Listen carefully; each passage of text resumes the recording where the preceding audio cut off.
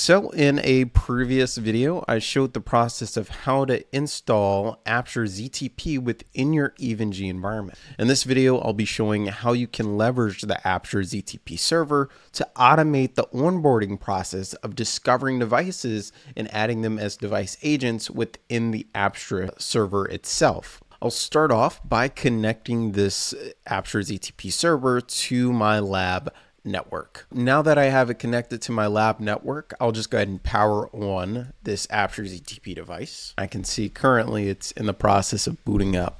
Once it finishes loading, I'll log in with the default credentials of admin and the default password of admin as well. And here, by default, after ZTP is set to get an IP address via DHCP. And I can see it currently has received the IP address of 192.168.0.43. However, because I'll be utilizing this as a uh, ZTP server and a TFTP server for devices to pull files and configurations from this server, I want to make this a static IP address so that that IP address never changes. If I take a look at the actual network configuration file of how this is performing, I'll do sudo nano slash etc slash netplan slash 01 net cfg.yaml. And I can see this is currently what we have in place. DHCP4 is set to yes. So I want to copy and paste a static configuration that's going to update this with the the correct syntax for what we'll need in order to set a static IP address. So I'll putty to the IP address dot 43 and I'll hit enter. Again here I'll log in with the default username and password of admin admin and boom. All right, so this is the file that I want to change. And you could do a, a Google search uh, for Juniper's documentation for Apstra, and you can find the syntax that you can then copy to a notepad and then via putty paste that into your uh, Apstra ZTP server. So in my case, I've already pasted this, but I've also added in the syntax that would allow me to uh, configure a default gateway. So I'm going to change that IP address to .21 since that's what I want it to be set to. And I'll just point the DNS server to Google for this instance. If I come back over here, uh, the putty session, I want to just erase what's currently here. And then I'll paste in that syntax that I copied. So I'll do a control O to save this file and I'll exit and I'll do a sudo netplan apply. So that should take effect and this putty session will no longer be valid. I should be able to see, yep, now my IP address is set to 192.168.0.21. And if I look at the route, IP route, I can see I have a default route that should allow it should allow me to connect to it via my browser. So what I'll do up here at the top is I'll type in https colon whack whack 192.168.0.21.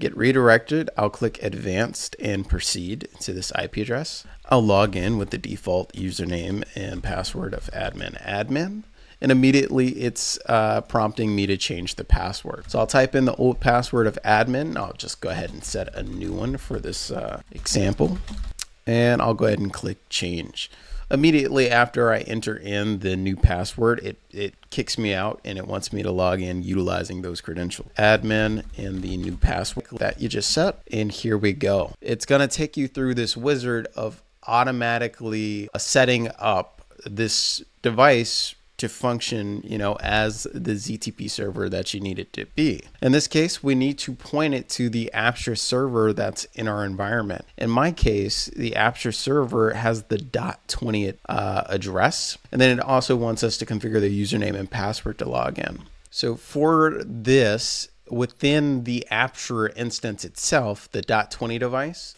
I need to configure a user that is specifically for the ZTP process. So I'll come over here to platform and select the users and I'll create a user called ZTP and I'll specify what that password is going to be and I'll do that here as well. And I need to select the role to be device ZTP and I'll click create. So now I have that new user with the role of device ZTP. And now over here, I can go ahead and vin vin to the Apstra server this and put in the IP address as well as the user and the password that I've just put in place over on the Apstra server. So I'll go ahead and submit and proceed to the next step. The next step is really important. This is Vin what allows you to actually specify, you know, what subnet you're on so that this server knows uh, what range to give out IP addresses and so forth. Then down here is where it gets more specific. So I find the class Juniper that I'm using in this case, and it's saying, okay, Vin, Vin, you detect that the device reaching out has a vendor ID that says Juniper in the first seven characters, then give them this bootstrap configuration. And this bootstrap configuration is really what's going to do this whole ZTP process of automating the process of onboarding this device within Apstra. So the first thing that I'm going to want to do is say define my subnet. And in my case, I'll be going with 192.168.0.0. And the net mask will be 255.255 255.255.0. The IP address that I have for this TFTP server is .21, so I'll go ahead and update that there, make that .0, and the range is going to be from .41 all the way to 49. Uh, I'll make the default gateway dot let's see 100 and then for the third step we can specify what we want the DNS server to be. In this case I'm just going to go with Google 8.8.8 and then the backup it being 8.8.4.4. One important step, and this this messed me up when I did this one time before, is I need to, for the subnet portion, backspace out these hashtags because currently, you know, if there's a hashtag in front of it, it's not going to apply it. It's going to ignore that and just read it as a comment. So with that being done, so far, that looks good. There's only one other change that I need to do. First, in my EVE-NG environment, I know that the virtual devices that I'm working with here are going to be set for a specific code version. So I'll check within Apstra what that code version is, 23.2r1.14. And I want to come back over to the Apstra ZTP server. And then from the configurator, I'll navigate to Junos uh, for the versions, specify your version to be 23.2r1. 23.2r1.14 and I'll click add. And so when I come back over to the code editor for the ZTP process and I scroll down to Junos, I can see that, all right, the device's onboarding uh, must be utilizing this version.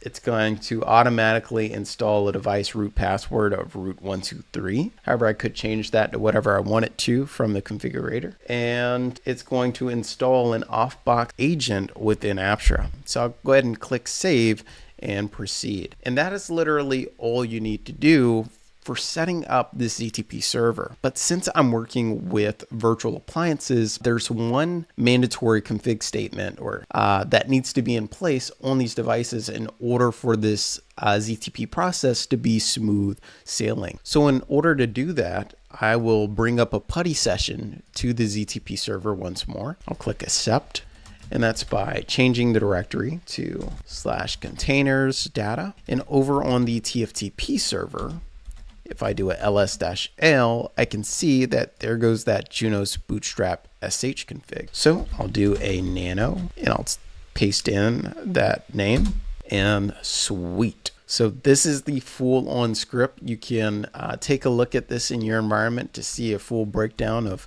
uh, all the commands that this entails. But what I'll do, and I won't go too far, is I'll just copy this line right here, for instance, and I'll go ahead and paste it in.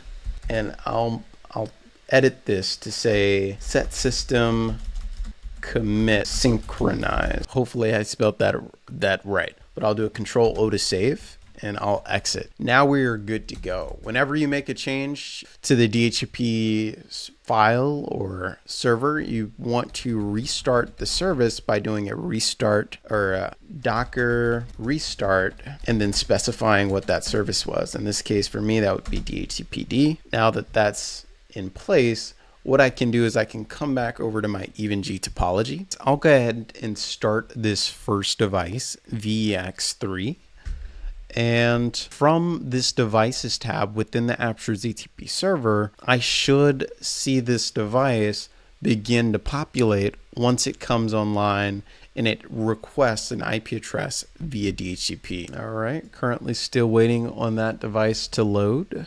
All right, so it looks like I made a typo here when I was doing this DHCP conf file, and I forgot to do the .8 at the end of this.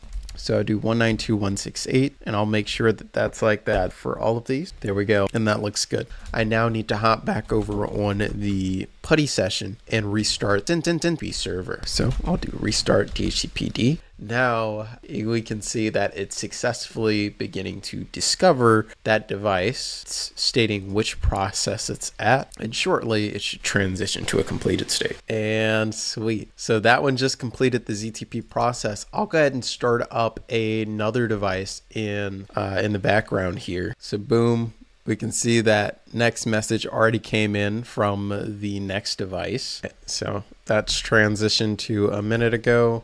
So now I'll go ahead and start up the next device and I'll come back and monitor that request come through. And boom there goes device number three. All right so now that's transitioned to a minute ago. So i'll start the fourth vex device. All right and i'll go ahead and start the last device here. All right, so I'll just go ahead and wait for the rest of these to finish doing this onboarding process and we'll see what it looks like when it's done. So after about eight minutes, all devices were able to be automatically discovered and onboarded into our Apstra environment. Now, in reality, you know, you can do these devices simultaneously uh, when you're working with physical hardware, but because I am bound the, by the restraints of a virtual environment, it took a, it took a little bit longer. Um, but now, if I hop back over to the Apstra controller at that .20 address, and I come over here to the devices tab and you'll notice that under services, you know, it sees all of these different services because it's in communication with the ZTP server that we set up. But if I come back and then I go to devices, you can see that we can see the same output that we were able to monitor from our uh,